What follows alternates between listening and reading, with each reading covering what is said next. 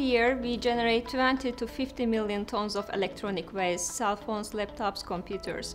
If these items end up in landfill, they contaminate soil, groundwater, creating a threat for human health and the environment.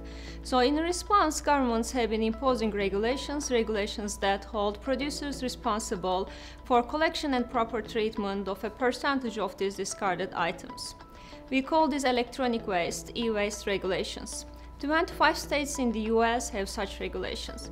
And this sounds like a great idea on paper, but we, in order to understand the true implications and if these regulations will be effective or not, we need to understand how market would react to them.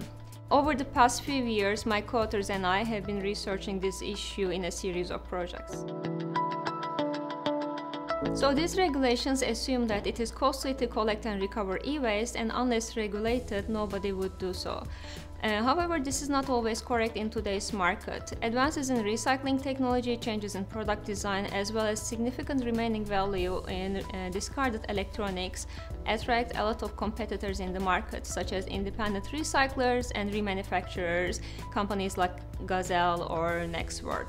In our research, we study this competition in a regulated market.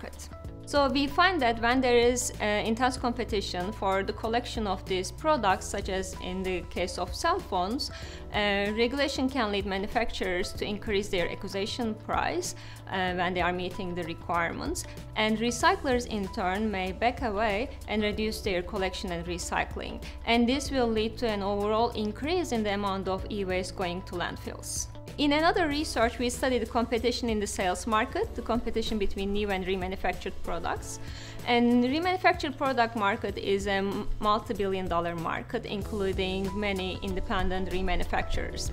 In these markets, requiring manufacturers such as Apple and Samsung to collect and recycle a higher percentage of their products can backfire because manufacturers will reduce their new product manufacturing when complying with regulations. And this implies fewer opportunities for independent remanufacturers, and this will lead to a reduced level of reuse and recovery.